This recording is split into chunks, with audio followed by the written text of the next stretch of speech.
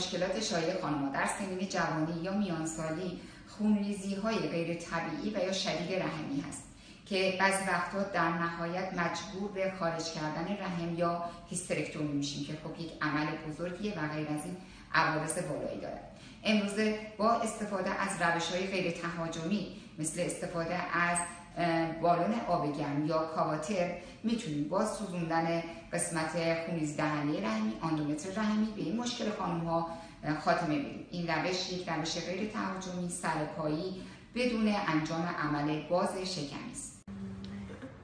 در روش کاواتر با استفاده از گردش آب داغ داخل حباب ویژه که این حباب وارد حفره آندومتر میشه و خونریزی رو می‌تونه تا 90 درصد درمان کنه بدون ایجاد یائسگی.